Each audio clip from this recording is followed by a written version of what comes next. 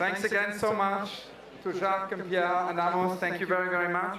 Got a great, great pleasure now to introduce our next guest, Cally Spooner, an artist based in London, who is using theory and philosophers also as triggers to help her write and cast of arguing characters to help her perform. She produces plotless novellas, disjunctive, um, disjunctive theater plays, looping monologues, and also musical arrangements to stage the movement and behavior of speech.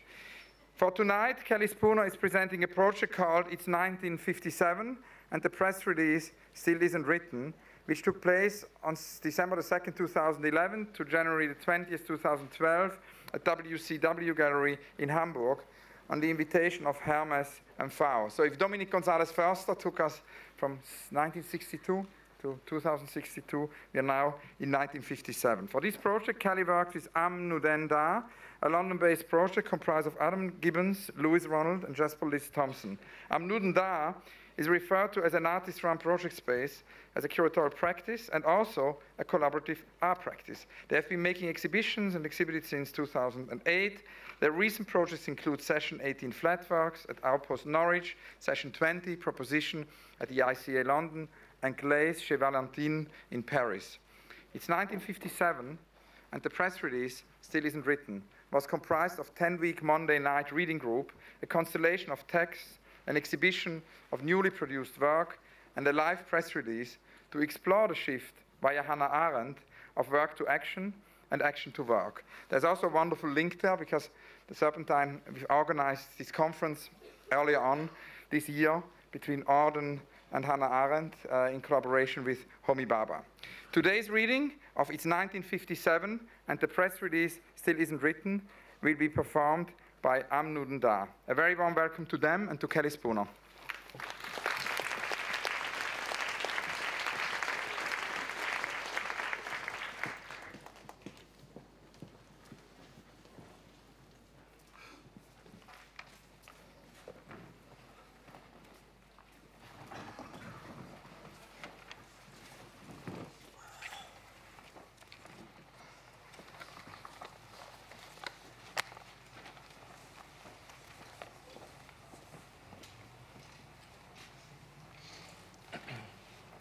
Explanation Part 1.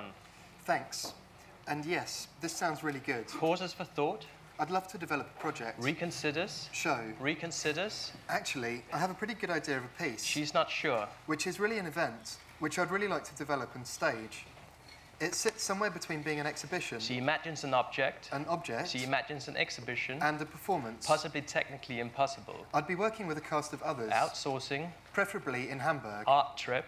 In this case, the longer the project could stand, the better, as I'd like to develop stable elements, which would continue after the performance, or arrive before the performance as a curated structure for activity. Stop. But let me know. I tend to build around whatever frame I'm given. So time, space, dates, and then I can start working on this. Possible. Idea from there.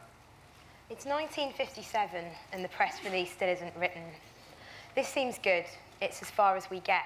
And so we start again in a space of perpetual starts. This seems like a start to the action. And so we start somewhere in Hyde Park on the 22nd of August, where it's 2011 and speaking is in decline. Are you sure? Pretty sure. Are you quoting? Not exactly. Did you outsource? Absolutely. And remind me why this is okay. It's okay, Lewis, because I'm trying to carry some others. Otters? No, that was and still is a typo. Okay. Some others. Well, thanks. My pleasure. It's all from the book. You sound like a priest, and there's nothing worse than a moralist. Explanation Part 2. The human condition indicates book charts the shift from solitary contemplation a solo event to the life of action not solo while considering the key attributes of our condition as labor work and action arendt was writing at the time of massive technical progress and advancements and a decline in simple human to human speaking because it's 1957 1958 sputnik launched space travel pending Post telescope. Please explain. Post confidence knock. Please expand. Post Hiroshima. And the first tu- test tube baby is nearly being born. Please fact check. The book is an appeal for us to honestly ask ourselves what are we trying to do? Edit, line break, stop. The thing I'm hoping to consider in this particular case is the symbiosis between work italicized, and action, emphasized. somehow finding a way to perform this shift from one state Tries to indicate action, to another. indicates the work. It's 1951 and ontology is fundamental. This seems possible, but only if we find out what ontology is, and the thing is, we just don't know. After some time looking, we realise it has something to do with thinking and ethics, and this seems good, particularly as there's four of us, and we'll have to deal with the ethics of dealing with each other for approximately 10 weeks, give or take breaks for holidays. This, says Levinas, is something like a negotiation, and it's impossible to negotiate with something that doesn't have a face. This is because you wouldn't know whether they were really listening or whether they'd fallen asleep. Uh, Equally, it's impossible to have discourse if we don't know who we're looking at, and it's impossible to think if we don't have the discourse. And because we can't think unless we can speak, so so, can we talk sure, face to face, sure. specifically, Okay, non specifically, okay. widely, Right, broadly, right. indirectly? Please stop talking. Explanation part three. In short, action is a fragile event based activity generated from speaking and discourse She, or she pauses. politics. Delete. Work is the activity we undertake to produce the tools and objects that help us to labour. But Arendt also considers the possibility of work, Indicates work. the products of work, Indicates exhibition. as aids to document, Indirectly. represent, Records. or acknowledge action. She's guessing. I'm interested in working out how, through Speculating. an extended period of conversation and discussion on action, it might be possible to generate some tangible manifestations Please simplify. which might in some way act as documentation New work. of action. And I guess it's this documentation that I'd like to bring Revise. Make. Revise. or perform Where? in Hamburg. It's 1934 and individualism arrived in the group.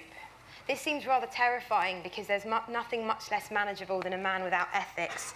I'm reminded that's not really the problem because being an individual doesn't mean you don't have ethics, and besides, no one here much likes a moralist, especially not, let's say, in Paris, where it's 1934 and the painters are lined up on the backs, banks of the Seine waiting to make some exponentially uninteresting art.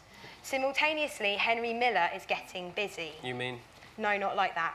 Well, a bit like that. Well, maybe. He's a virile young man. I'm not denying this, but I'm just trying to say he was active, which is good. I appreciate this is good, though rather lonely. He's never lonely. He's busy being. Being, What? just being. A writer. But this would make him no better than the painters because it seems extremely important to be active primarily and a writer secondarily. And there's really nothing very active about painting the Seine on the banks of the Seine when the Seine is right there in front of you. Instead, it's perhaps better to feed off the world, which Henry Miller does. The bad news, it seems, is this is only possible in a state of extreme nomadic movement. The good news is you'll collide with others in public. Explanation part four. On Monday, I'm going to start She hopes. about six weeks Ten weeks. of discussion on labour, work, and action Dot dot dot. with a project I sometimes work with here called Am Nuden Da. www.amnudendar.com. There's three of them Adam, Indicates Adam. Lewis, Indicates Lewis. and Jasper. We were going to find the space and time to do some speaking on Arendt's concept of action, dot dot dot. try and work out what it is. Dot dot dot. I'm interested in seeing whether this conversation could somehow manifest itself physically as work, She's repeating. either as performance, an installation, an exhibition, an object, Repetition. or maybe all of this, Strictly speaking, not possible. in Hamburg. Strictly speaking, not Hamburg. The rudimentary idea is to shift from action Conversation. To work. Indicates the works. and then maybe work Indicates the works. back to action. Conversation. But I'm not sure yet how this will happen, Dot dot dot. which I think is rather Disorganized. nice. Practically, Pauses. this would mean we'd all need to be in Hamburg, which the budget would allow, Just. because the main material, Comma. as usual, Comma. will be me, Slash. us, What? people. Dot dot dot. It's 1913 and Proust has gone to bed. We decide this is, this is definitely a good response, certainly the opposite of Miller, because you can't get less active than bed. Well, I'm told bed is good, a very important space for a man. And in the absence of outside action, we might have to embrace the beauty of form over experiential content because there's just not enough content inside in bed. And all form and no content in bed is definitely, most certainly, modernism. Are you sure? Well, I'm not sure because we've only read five pages, so it's impossible to say if he'll move. He'll move. He might not move. He'll move. He might not move, he's underperforming. I found it quite funny. Proust is not funny. I found it quite funny that a man can get stuck in his own narrative and make a text so impenetrable that only a like minded man can read it, although apparently I'm wrong. Explanation part five. I think in this case, I'm especially interested in how the conversations can transform into a collection of materials. She tries to explain. structure, Already explained. an object, Again, something. she thinks. Tangible. Stop. It's a morphogenesis of sorts from one state to another. Dot, dot, dot. I'd like the conversation to happen as a reading group, In the pub. as they already are, In the pub. and for them to somehow be documented or represented Italicized. in public Indicate nine works. as work. Right now, I imagine it might look like a curated show or an installation acting as props No. or markers No. to aid a reading Show. with some other related material. But these are all just thoughts relating to the conversation so far, which are going okay. Three delays due to holidays and illness. They're generating an interesting constellation of reading and ideas, and I guess, in some ways, the project is turning into an expanded reading group where we speak through a number of different texts which Am Nuden Da suggest and bring. It's 1953, and the memoir we discover is tricky. It's never true, it's almost always false, and if you're in the business of truth and catching the evidence of action, it's best to avoid a memoir. Nonetheless, like everyone with something to say, it's necessary to record one's story. But in the absence of good memory and the tendency to overinflate ourselves inaccurately, a self penned memoir is thoroughly useless. This leaves us with a few options. The first strikes me as best let someone else carry your history.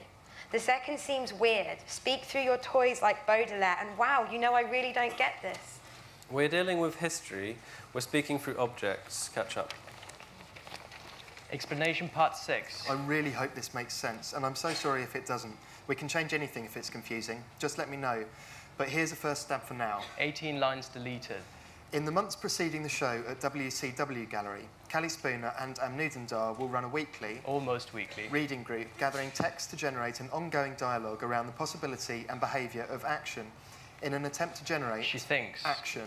Simultaneously, eight, three, nine new works Including a poll. will be conceived, developed and produced outside of the reading group, though not in isolation from its content. Apart from the poll. The members of Am Nuden Da will be working singularly, Apart from the poll. producing one new work by each of them, Plus a poll. which might act as the documentation of the group activities, while serving as individual work in and for itself. Except for the poll. The work may take any form, for instance, collections of found material, One film. an object, Two sculptures. an image, Five paintings. And- she says, so forth. please don't bring the poll. It's 1955, and Blanchot has occupied the most desirable of positions by separating himself from his being. To me, this sounds painful. It's also rather difficult to speak about because the complicated process inv- involves negatives and negation, vacuums and voids, monochromes and grids and margins and gaps, big white spaces to bask in, which doesn't seem positive or active, and I'm certain this can't provoke action. In order for being, being must lack. It's the possibility of incompleteness. That's ambiguous. And that's what you want. Not on my own. You're really not on your own. I am if I can't speak, and I simply can't speak about Blanchot. I just don't understand. It's a space of isolation, confusion, it's hard. This is the point. Actually, Yes. I want to speak about the difference between something that gives you advice and something you're not meant to grasp. Really. Not really. So, I want to speak about the difference between a didactic space and a paradox. really. No, not really. I want to talk about the difference between being told what to do and having to inhabit the world without reference, without structure, poetically, and finding yourself through that. Please leave that to Blanchot. It's best if you just explain. Explanation part seven. The new works will be installed and She hopes. will be framed and contextualised by a live press release, She's making this up. written at the very last moment Predictably. by Cally Spooner, as a script which moves through reading, Quotes. splices of conversation, And actually, footnotes, emails. generated by the reading group. Not exactly. The script will be performed by Cally Spooner, Definitely. possibly Pre- predictably. with Am Nuden Da. This is an attempt to expose the three new works' relations between one another, not through themes, form, or curatorial logic, but simply by reactivating the reading and the conversations it generated. Dramatic line break. And so, She starts. in short, She starts. the project is Please don't repeat this again. a reading group in London generating the production of Eight, three nine. new works installed in Hamburg, framed and activated by a live press release written at the last possible live moment with conversations and reading from the reading group, performed at an opening event by Cally Spooner, who will effectively become the last minute live curator of eight Ten. weeks of Attempted. action. Please stop talking. It's 1999, and Frances Stark appears to be dealing with female responsibility towards the efforts of great men. This seems good. Thanks. Not you. Okay. It's mostly the big thinkers. You know the big ones. How to speak through them, support them so she can find her voice. And you know what? What? I think it works. Explanation part 8. I am so, so sorry for being extremely slow on titling. One month late. It's been really difficult to understand how to sum up the project without being Disorganized. didactic. Writer's block. And of course, it got to the point where all the content we'd been reading started collapsing into the title. Bad management. And then there were four of us to decide things with. Outsourced blame. And just in general, it's been one of the hardest projects to title. Exclamation. I guess the thing I wanted most was to sum up this idea of something in progress, as action always is. So, Dot, dot, dot. not yet made, Dot, dot, dot. but starting from a given. So, Arendt's human condition, followed by a number of unknowns Others. that would arrive through the reading and conversation that Am Nuden Da bring to the group. This title is actually the first line of the press release, Obviously. which I'm starting to write now. Badly. And eventually I'll finish it just in time for its delivery We know. at the opening in Hamburg. We know. The press release will be quite long, I think, Please edit. though quite Confusing. fragmentary. A scramble across dates, texts we read, and conversations. She starts. An attempt to communicate this concept of conversation Please start. as action, Please just start. documented through Am Nuden Da's new work, which I am documenting through this press release. It's 1957 and the press release still isn't written. This seems good. It's as far as we get, and so we start again in a space of perpetual starts. This seems like a start to the action. And so we start somewhere in Hyde Park on the 22nd of August, where it's 2011 and speaking is in decline. Are you sure? Pretty sure. Are you quoting? Not exactly. Did you outsource? Absolutely. And remind us why this is okay?